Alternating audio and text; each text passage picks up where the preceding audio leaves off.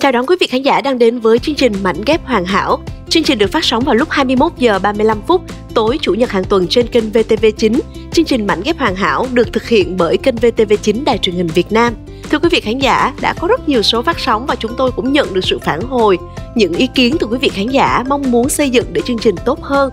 Và vâng xin được cảm ơn tất cả vì quý vị đã dành thời gian theo dõi chương trình Mảnh ghép hoàn hảo và chúng tôi tin rằng là quý vị theo dõi chương trình này sẽ thêm yêu mến bởi vì ở đây chúng ta được gặp những cặp đôi rất là dễ thương. Họ kể cho chúng ta nghe câu chuyện của tình yêu, câu chuyện của sự cố gắng, câu chuyện của những nỗ lực và cả những câu chuyện của những sai lầm. Tất cả những điều đó đều rất đáng trân quý. Để chúng ta sẽ yêu thương hơn người bạn trai, người bạn đời, người bạn đồng hành của mình có những cặp đôi họ đã kết hôn nhiều năm nhưng cũng có những cặp đôi thì họ đang ở ngưỡng cửa hôn nhân và cần phải thay đổi rất nhiều để có một đời sống hôn nhân hạnh phúc phía trước. Sẽ có nhiều điều mà chúng ta sẽ cùng nói với nhau tại chương trình này. Nhưng trước tiên thì xin mời quý vị hãy cùng ốc thanh vân chào đón một người bạn đồng hành thân thuộc của chương trình tiến sĩ tâm lý bùi hồng quân. Chào anh. Wow. Lần nào đến ngôi nhà này cũng cảm thấy ấm áp và mỗi lần ấm áp thì đều rất là tò mò đó Thành Vân. Dạ. Không biết là hôm nay chúng ta sẽ gặp ai cặp đôi ngày hôm nay như thế nào? Dạ chắc chắn là ngày hôm nay chúng ta cũng sẽ được gặp một cặp đôi rất là ấn tượng. Tại vì ban biên tập luôn muốn mang đến cái cảm giác thú vị và bất ngờ cho những người tham gia chương trình thường xuyên như chúng ta. Nhưng mà trước tiên thì em xin được ngờ mời anh ngồi và chúng ta sẽ cùng theo dõi đoạn clip về cặp đôi này. Em nghĩ rằng là nhân vật này anh quân biết đó. Ồ. Oh. và quý vị cũng sẽ biết đó. Thưa quý vị đó chính là cặp đôi mà chúng ta sẽ được gặp họ ngày hôm nay. Cô gái là một nhân vật rất là thân thuộc với những quý vị khán giả yêu những bộ phim truyền hình và cả những bộ phim điện ảnh đó chính là diễn viên Phương Lan và người bạn trai của mình Phan Đạt. Chúng ta sẽ cùng gặp gỡ cặp đôi của ngày hôm nay. Sau một quãng thời gian mà mình đã tìm hiểu, suy nghĩ kỹ thì uh, đã quyết định là tiến tới hôn nhân thì uh, mình cũng uh, muốn Phương Lan sẽ thay đổi được vài điều mà mình cảm thấy Lan chưa được tốt cho lắm để mà sau này khi mà tiến tới hôn nhân thì mọi thứ nó sẽ trở lên tốt đẹp hơn em nghĩ thay đổi thì mình cũng phải cần có thời gian để mà mình thay đổi từ từ và mình làm quen với nó. Chứ uh, ngày một ngày hai thì không thể nào mà thay đổi liền được. Và em nghĩ là uh, người đồng hành của mình cần uh, hạ thấp tiêu chí xuống một chút. Chứ mà nếu như mà uh, đòi hỏi cao quá thì hoặc là em thay đổi hoàn toàn thì đôi khi nó không còn là mình nữa và nó có thể là đánh mất đi bản thân của mình. Trong đoạn clip thì chắc anh quân cũng có nghe. Thì ừ. anh nghĩ như thế nào về hai ý kiến trái ngược này? Thật ra thì cả hai đều có lý hết cả à, với đạt thì đạt rất là mong đợi là cái sự hòa hợp và hòa hợp càng nhiều trong hôn nhân thì điều đó là càng tốt nên do vậy là mong ở cái người còn lại đây là lan thay đổi là một điều chính đáng mà yeah. Dạ. à, nhưng mà thay đổi tới mức nào tại vì quả thật đúng như ý của lan nói mình có thể thay đổi có thể điều chỉnh nhưng mình không thể thay đổi tới mức là mình đánh mất mình luôn được bởi vì có những thứ nó thuộc về con người của mình làm sao mà vẫn là mình nhưng mà là phiên bản tốt hơn đó là Đúng điều rồi. mà chúng ta nên làm Chính bây xác. giờ mình sẽ phân chia đi anh muốn gặp bà đạt hay là anh muốn gặp lan em cho anh lựa chọn luôn. Cho lựa chọn luôn đúng không? À, thay đổi. em thì em em đã từng quen phương lan đã từng gặp gỡ nhau rồi nhưng mà ừ. chưa có dịp để nói chuyện sâu. À. Ừ, nhưng mà em đang nghĩ tới việc gặp gỡ một chàng trai. Sẽ thú vị hơn đúng không? Sẽ thú vị hơn tại Biết vì mà. người ta mà đã phải nói người yêu của mình nên nên thay đổi thì chắc là người ta cũng rất là cầu thị. À. Thôi em gặp đạt nha. Ok vậy thì uh, quân sẽ gặp lan và chúng ta sẽ gặp lại nhau vào một thời điểm thích, thích hợp, hợp. Xin anh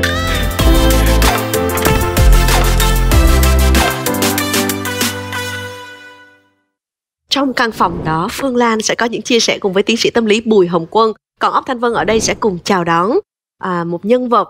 Anh ấy có một cái vẻ ngoài rất là lịch lãm và Vân đoán là anh này là một chàng trai rất là cầu thị, rất là chỉnh chu. Chúng ta sẽ cùng gặp gỡ Phan Đạt. Chào chị ạ. Chào em. Chào chị. Chị mời em.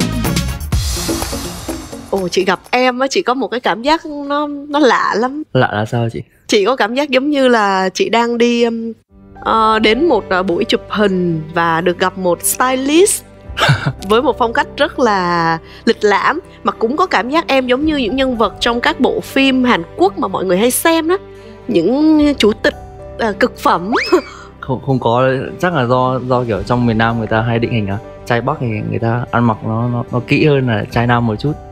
Chị à. nghĩ là sự chỉnh chu luôn là cần thiết mà. Dạ. Trước tiên là chị phải cảm ơn em vì em cũng dành thời gian để đến với mảnh ghép hoàn hảo. Dạ. và những cái chia sẻ của em tuy rất là ngắn trong đoạn clip nhưng mà chị nghĩ rằng là chị hiểu và cảm được. Tụi em gặp nhau lâu chưa? Dạ tụi em ờ, gặp nhau chắc là từ hồi tháng ờ, tháng 8 ừ. Là bạn đến sân khấu vô tình bạn được vé mời tới sân khấu coi kịch. Ừ. Dạ. Xong rồi cái ờ, thì vô tình tới sân khấu coi và em thì diễn cái vở đấy. Ừ. Sau sau này bạn về thì bạn mới ờ, tìm thông tin của em. vô tình thấy một cái clip ở trên mạng của em. À, Dạ. ừ. mà cái clip là cái clip em bị troll. Ồ, ờ cái đó ờ quen quá thì có như mấy chị ở trong cái chỗ làm á thì chọc là nói là bây giờ thử nhắn tin đi. Cái mới nói là ờ thì nhắn tin em nhắn được thôi. Tại nói chung lúc đó coi cũng có hơi thích thích mình rồi cái xong rồi mấy chị đã bảo thôi mấy đời bánh đúc có xương mấy đời nghệ sĩ mà trả lời dân thường. Á, kiểu vậy.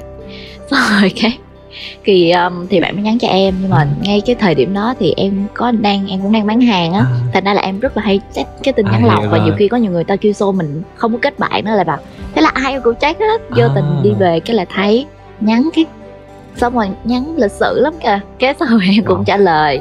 Xong rồi cái cũng nói chuyện thì ừm, nói chuyện xong rồi bắt đầu nói chuyện qua lại. Xong rồi à, Ừ. mới bạn cũng mới biết là ờ, bạn như ở trong đây thì à, rất là thích xem cái kịch ở trong đây tại ở ngoài miền Bắc á. Mà bạn bảo là không có nhiều cơ hội để đi coi. Em nói ờ vậy thôi để mời đi coi kịch. Dạ Ừ. cái từ đó bắt đầu gặp nhau bắt đầu tìm hiểu và quen tới giờ.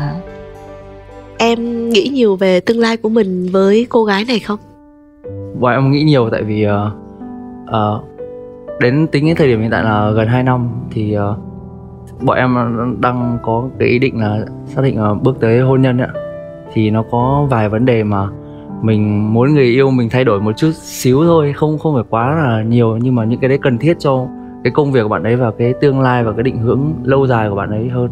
Nhưng mà em đã nhận thấy những cái điều thay đổi này ở thời gian nào? Từ lúc mới quen hay là mới gần đây? Ờ, từ lúc mới quen thì đến thời điểm gần đây mình sẽ cần thay đổi. Có hai vấn đề là bạn ấy có thể ra ngoài đường ăn mặc theo bạn phối những cái bộ đồ lạ lắm mà nhiều khi để mà những cái stylist khác mà nghĩ được những cái idea đấy thực sự là rất là khó với người ta luôn á.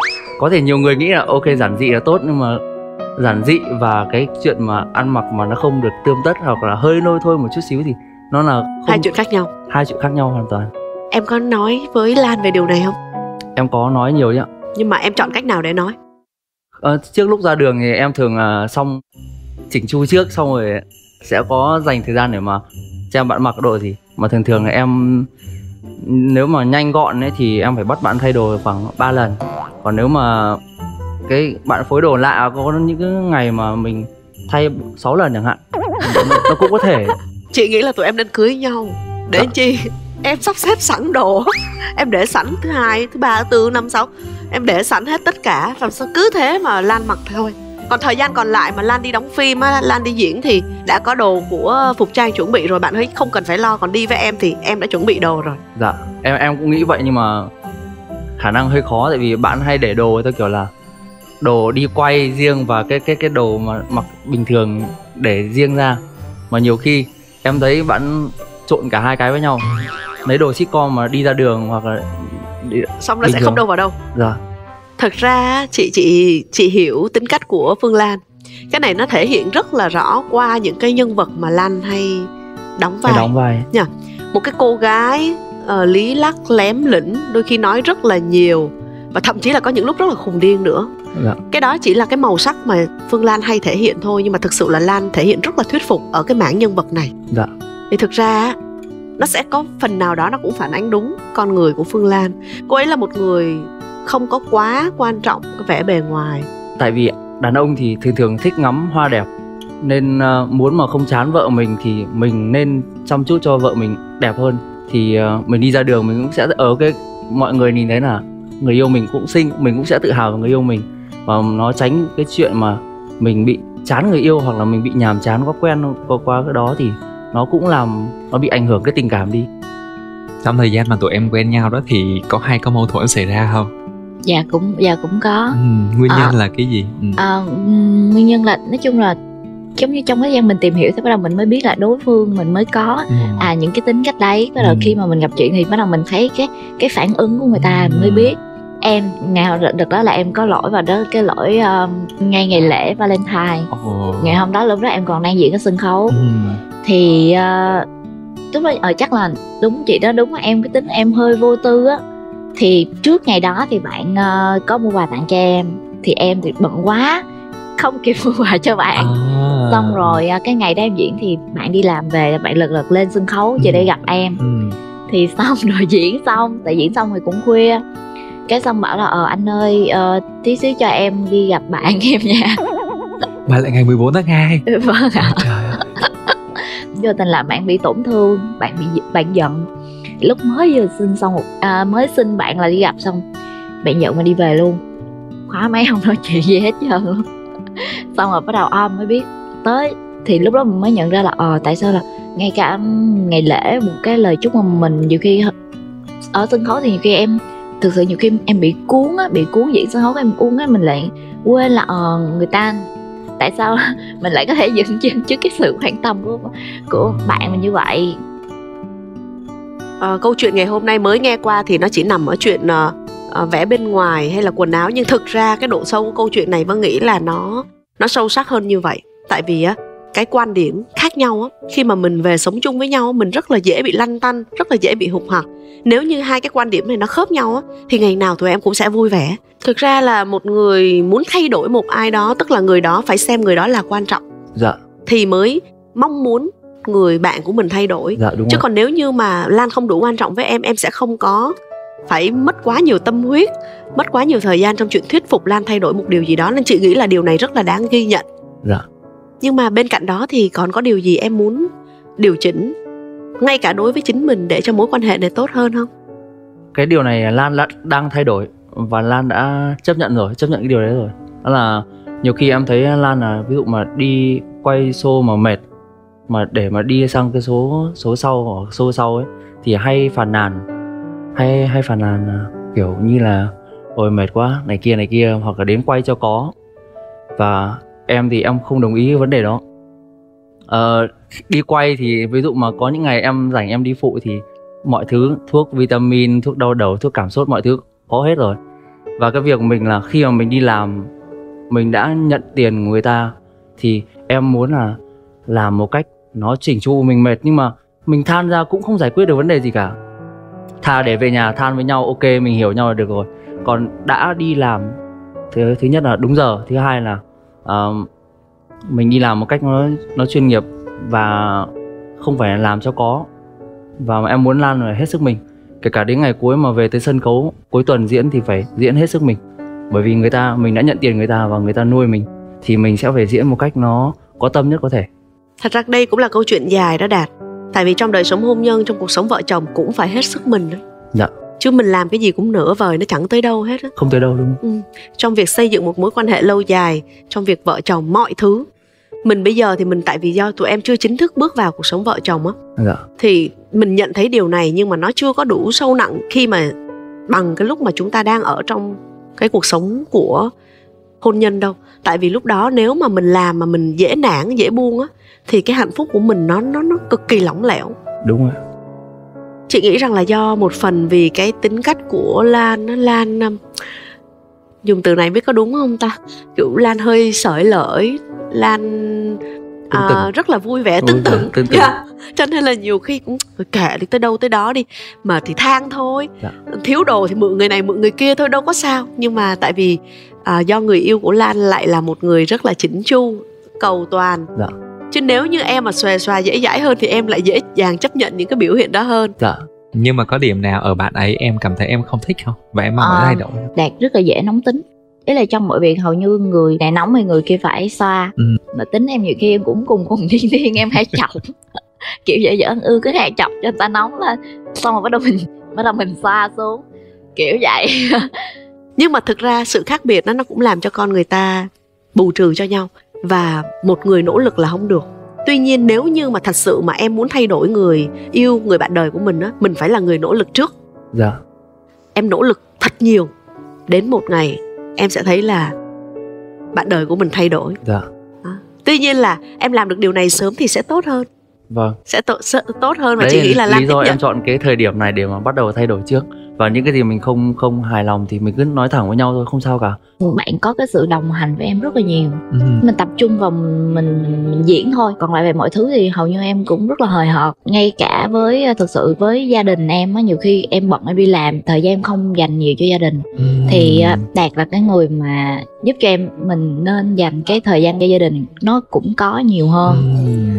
Vậy là xem như là chương trình à, mảnh ghép hoàn hảo ngày hôm nay Thực sự chúng tôi cảm thấy là mình rất là vinh hạnh Khi được một người trẻ họ chọn xuất hiện trong chương trình này để nói lên cái mong ước của mình Và chúng tôi trân trọng điều đó. Và chị rất là mong sau ngày hôm nay Những gì mà em thật sự mong muốn để mối quan hệ của mình tốt hơn Thì nó nó sẽ được như ý em muốn. Còn nếu nó chưa được thì nó cũng sẽ được trong tương lai. Dạ ok.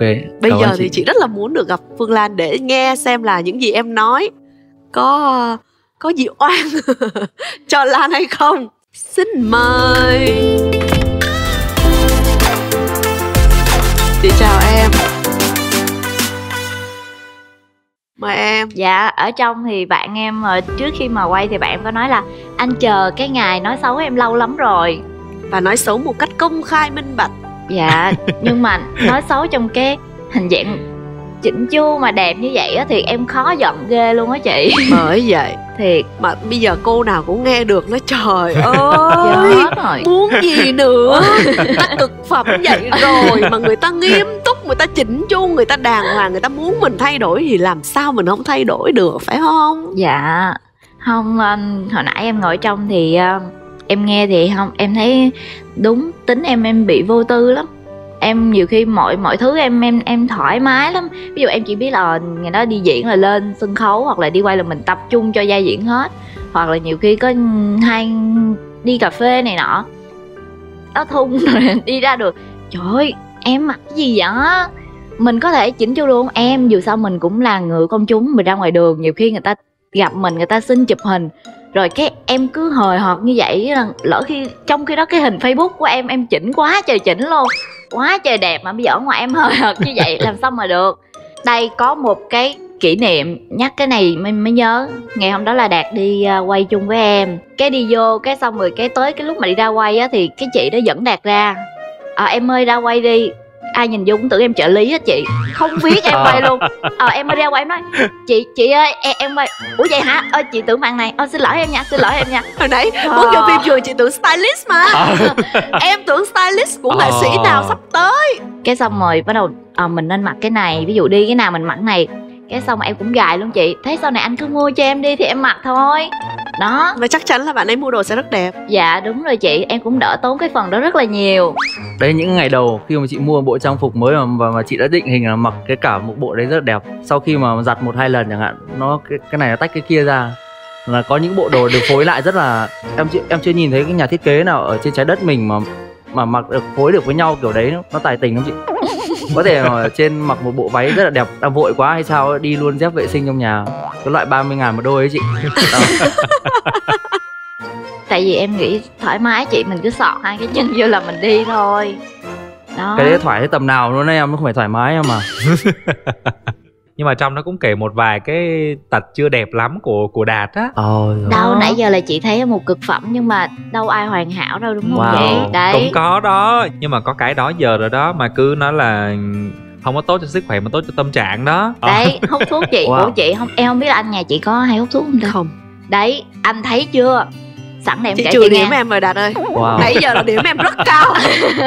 Đang bị bóc lên trần từ từ. Đây chị. Nhưng mà qua tới vụ này là chị trừ điểm tại vì một cái con người mà rất là ý thức về mọi thứ Ừ. như em là phải biết rằng hút thuốc sẽ không có lợi cho sức khỏe và không tốt cho cộng chị. đồng. Trời ơi em, em rất thích chương trình ngày hôm nay. Đó. Em rất thích chương trình ngày hôm nay tại vì bình thường á mỗi lần mà hai người đi taxi hay đi ráp á là hầu như những anh anh đó đều là hút thuốc hết là em thua em không nói được gì hết chị hiểu không? Cứ mỗi lần nói giờ anh ơi trong cuộc sống mình có nên hút thuốc không anh ừ có cho em. Em thấy chưa? Em thấy chưa? Người ta hút thuốc rất là tốt cho tâm trạng kiểu Khoan. vậy. Xong rồi đó tới hôm nay lên chương trình. Khoan khoan. Đó Đúng giờ không? nghe đạt nói đi giờ nghe đạt nói đi. Ừ. Và ngày xưa thì hút thì khoảng tầm 10 điếu một ngày. Ừ. Giờ thì uh, 5 điếu ạ. Ừ. Vâng. Nó cũng cực. Em cũng muốn Em cũng biết là cái đấy nó là không tốt. Ừ. Và em đã chọn cho mình một không gian riêng Ví dụ như uh, bà uh, phòng khách, phòng bếp, phòng bên ngoài là bà chiếm hết rồi. Thì em chỉ còn có nhà vệ sinh thôi ạ. Ờ. Thì em chỉ hút trong đấy thôi Phạm vi của em thôi. Ừ Mà hút nhà vệ sinh em biết điều em mở thông gió các kiểu lên rồi. Đấy mà hút cũng bớt lại rồi. Sau này em định hình là em ok em biết cái đấy là không tốt thì em sẽ bớt lại rồi. Nhưng mà 10 mà vẫn còn nam. Có cộng thêm tí điểm nữa không ốc không. Không luôn à? Đó. Đấy, anh đâu cộng nhiều điểm lắm. đâu? Mà anh thấy cũng trừ là đúng rồi đó. Tại sao lại cứ phải hút và câu chuyện như thế nào không cần biết nhưng cái kết thúc cuối cùng nó sẽ là một cái tấm chụp hình lá phổi. Cái phổi nó sẽ nám như vậy nè và nó lỗ chấm chấm chấm chấm chấm chấm chấm chấm. Không chị bạn đó nói chuyện rất nhân văn chị. Em ơi nếu như mà giờ anh nghỉ hút thuốc toàn việt nam nghỉ hút thuốc thì bao nhiêu người sẽ bị thất nghiệp em ơi? Trời ơi những người công nhân người ta tới người ta chỉ mong được làm kiếm tiền về cho gia đình rồi người ta không có tiền gia đình con cái người ta sẽ đi học như thế nào? Đúng em em thấy chỉ một điếu thuốc chúng ta có thể giúp cho nhiều người kiếm tiền. Chị thấy nhân văn ghê chưa? Rất nhân văn nhưng tất cả đều là sự biện hộ cho một thói quen cho một em thói không biết quen. thôi đó. nữa Thôi hết được rồi. Chuyện là tại vì hôm nay chúng ta đang không phải là làm việc cho ngày phòng chống hút thuốc lá của À. thế giới. đúng rồi tự nhiên mình bị quấn vô ha.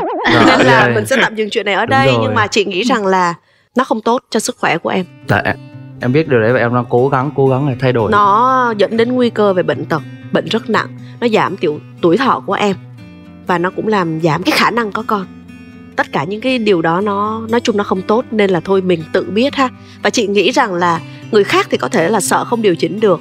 Chứ với một người cầu thị như em chị nghĩ là em có thể điều chỉnh được khi mà em đã thật sự muốn. Thực ra thì cuối lúc trước là rồi. có giảm Ừ. được từ từ và tới bây giờ là năm điếu nhưng mà em nghĩ sau chương trình hôm nay thì anh chỉ còn 3 điếu thôi rồi nhưng mà em chỉ có không hài lòng chuyện này thôi đúng không? Hay còn gì nữa nè? Dạ không Nóng chỉ tính có nữa, dạ vậy chỉ thôi. có hai cái đó là dạ hầu như còn lại ờ, không thực sự mà nói thì ờ, tính ra từ khi mà em quen ờ, hai đứa yêu nhau thì đạt là giúp cho em thay đổi và theo cái chiều hướng rất là tốt. Tại hầu như đó giờ em mọi thứ em đều là một mình cả tại vì em khi em hoạt động nghệ thuật thì gia đình em gia đình em chỉ là ở sau ủng hộ em thôi chứ cũng không có không có biết gì nhiều. Chỉ ờ, cho nên đạt thì là cái người mà giúp đỡ cho em rất là nhiều từ cách ăn mặc rồi ờ, việc nhận show như thế nào về việc marketing cho em luôn. Cho nên là em rất là đỏ về cái việc đấy rất là nhiều. Ừ. dạ. nếu chị nghĩ là tụi em hoàn toàn có thể cố gắng thay đổi vì nhau và những cái này nó không phải là những cái mà nó khó khăn theo kiểu là một cái bản chất cố hữu để không thể thay đổi được.